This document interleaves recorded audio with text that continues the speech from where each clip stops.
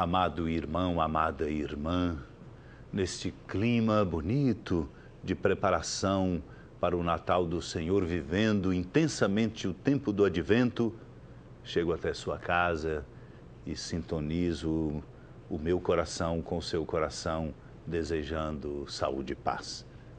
Natal é festa de família, traz a singeleza do aconchego familiar. Neste terceiro dia da novena de Natal, nossa comunidade orante, em companhia da amada Mãe Maria, contempla a figura singular de São José. É a palavra do Senhor que nos coloca nesta atitude de contemplação. Uma figura admirável que nos ensina lições das quais não podemos abrir mão para vivermos a atitude autêntica de fé e de discípulos e discípulas de Cristo Jesus. Acolhamos com fé e reverência esta palavra do Senhor.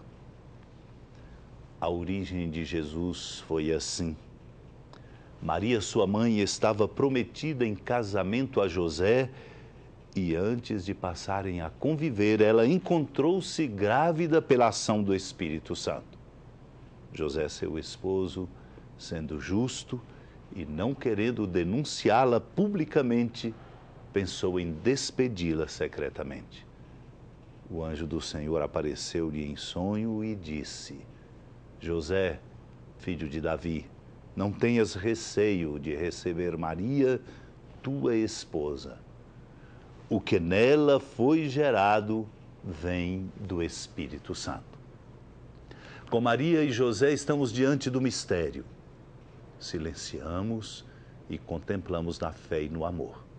O nascimento de Jesus, o Salvador e Redentor, revela a particularidade das circunstâncias que emolduram a existência de José e de Maria num momento singular de suas vidas.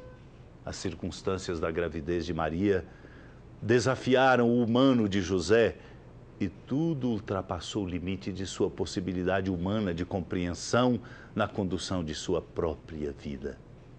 Algo estava para além de sua compreensão e de sua possibilidade de criatura na condução da vida e dos rumos que estavam para assumir no casamento.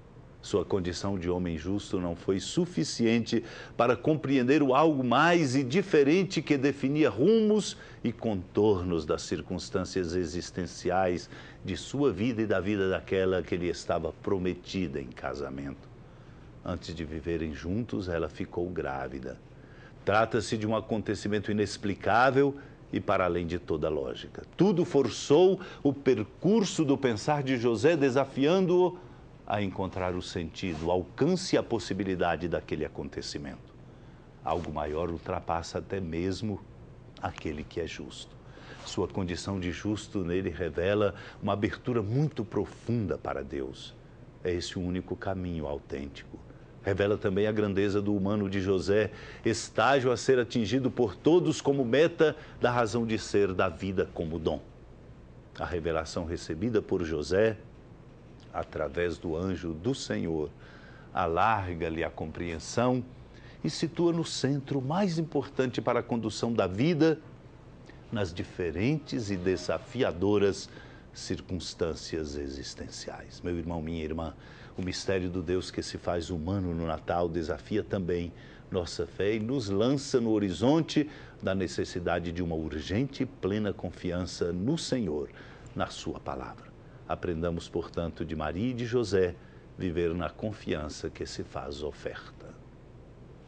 Pela intercessão da Mãe Maria e de São José, oramos hoje pelos jovens namorados e noivos para que vivam na alegria e no respeito mútuo, encontrando o seu caminho de verdadeira e duradoura felicidade. Lembrai-vos, ó piedosíssima Virgem Maria, que nunca se ouviu dizer que algum daqueles que, tendo recorrido à vossa proteção, implorado a vossa assistência e reclamado o vosso socorro, tenha sido por vós desamparado.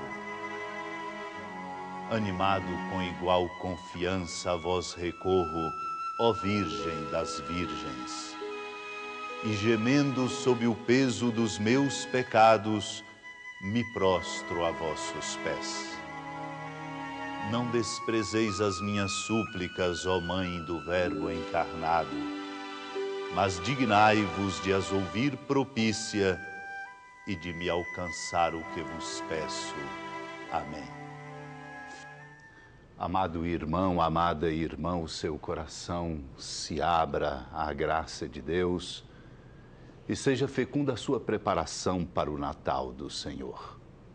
E assim, numa comunhão muito profunda entre nós, vamos ajudar o nosso mundo a encontrar o caminho da justiça, da paz, da fraternidade e de gestos concretos de solidariedade, mudando entre nós a cultura da violência, a cultura do desprezo e da indiferença o Senhor nos ajude.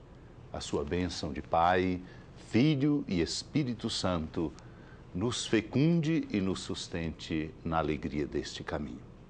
Cantando agora, vamos saudar alegremente a amada Mãe Maria que caminha conosco esperando o Senhor que vem.